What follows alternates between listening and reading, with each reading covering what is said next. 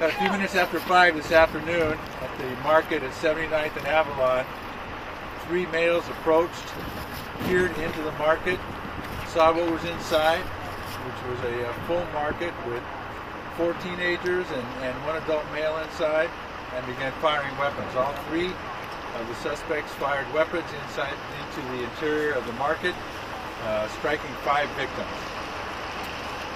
One victim, uh, female 18, is deceased. Two other female teenage victims are in serious condition. One young adult male is also in serious condition, and one 63-year-old male is in serious condition. All have been transported to local hospitals.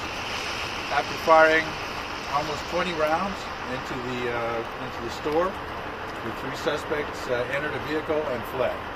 Uh, we are looking for the vehicle. We are reviewing all evidence. We are canva- canvassing the neighborhood, uh, working diligently to bring this to solution. Uh, at this particular time, I don't have any further information for you. Uh, we are actively seeking suspects.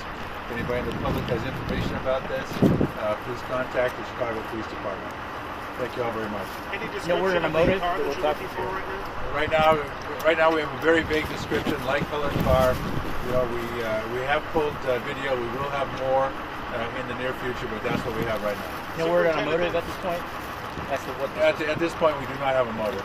Were any Superintendent, words do we have the shooting up on the north side uh, last night? Uh, there was talk that there could be some retaliation because of this. Is this possible that this could be part? We don't know that there's anything.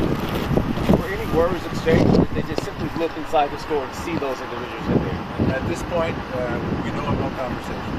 There were reports of possibly a sixth victim at another location connected to this. No, We don't believe there's a sixth victim, although you know anything is possible at this early stage of the investigation. Uh, right now, reviewing the, uh, the in-store video, uh, we believe there to be five victims. Okay, guys, thank you very much. Thank you. Superintendent's gonna